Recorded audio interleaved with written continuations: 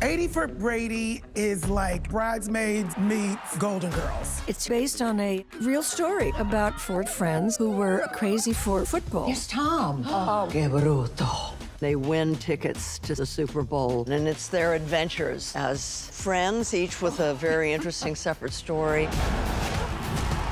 This weekend is more than they ever could have conceived of. It brings them together. They just rely on one another. Oh, careful, they're high dosage.